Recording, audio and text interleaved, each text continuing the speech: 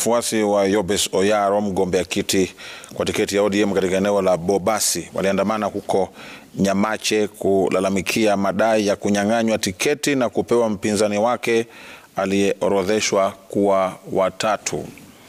Walidai kuwa baadhi ya viongozi wa ODM walihusika kwenye njama hiyo na kubatilisha jina lake kwenye cheti hicho ambacho eh, jambo ambalo limewakasirisha mno.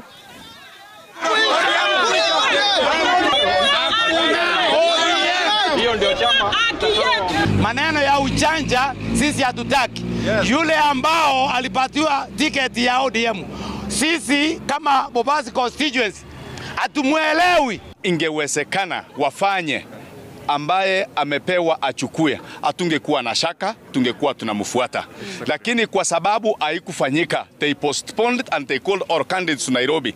Tunajua ya kwamba our constituency is not in Nairobi, our constituency is here. Tuko na kura zetu kwa mfuko, ni sisi tutakaamua ni nani tutapea kura. lakini tukaongoza kwa vituo siku mzima, tukaambiwa wameenda consensus. Hiyo consensus yao ikukuja, wakaenda wakafanya ukorofi wao wengine.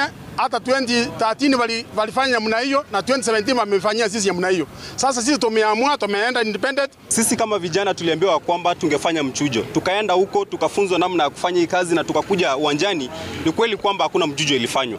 Wakasema wanaenda kutumia mbinu ya consensus, wakasema wataangalia yule mbunge ambaye ama yule aspirant ambaye ni maarufu zaidi katika eneo bunge la Kisii, lakini hayo yote hayakufuatwa. whatever that is being done in one way or another it's affecting the president isn't it yes. in affect president so my call before 8th before uh, before august tafadhali wale wenye mko huko juu msiharibie baba kura ama namna gani Yeah. Ticket siko kwa mfuko, kadi siko kwa mfuko, kura itapigwa hapa hapa na mbunge atachaguliwa hapa hapa, sio Nairobi, sio Bomas, sio Orange House.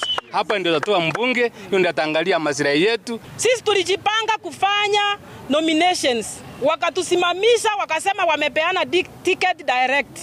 Biashara ya ODM sisi kama watu wa wasi tumekondemu. We need to be independent party.